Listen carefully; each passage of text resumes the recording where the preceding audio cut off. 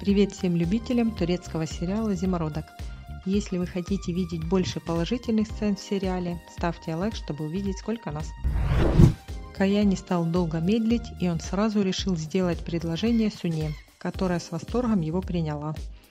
Казым, узнав об этом, пришел в ярость, потому что он против союза Каи и Суны. Халис тоже в шоке. Он не ожидал, что молодые так быстро решат пожениться и Факат начала уговаривать главу клана позволить молодым узаконить свои отношения. Такое впечатление, что слово Халиса уже не имеет веса, и каждый в этой семье делает, что хочет.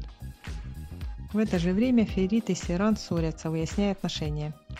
Сиран хочет понять, Пелин ждет его ребенка или нет, но Ферит и сам не знает правильный ответ. Также Сиран поссорилась и со своей сестрой.